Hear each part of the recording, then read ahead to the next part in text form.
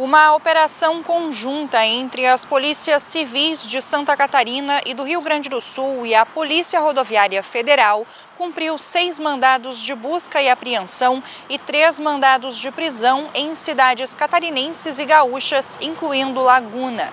O objetivo foi combater uma organização criminosa suspeita de furtar caminhões. As ações ocorreram em Laguna, São Leopoldo e Estância Velha, no Rio Grande do Sul. A quadrilha é apontada como responsável pelo furto de oito caminhões em Santa Catarina entre 2023 e 2024, dos quais quatro já foram recuperados pela polícia. A operação, batizada de Rota Fechada, foi coordenada com o apoio das delegacias de Pescaria Brava, Sangão, Jaguaruna e Imbituba, além do Draco de São Leopoldo e da PRF.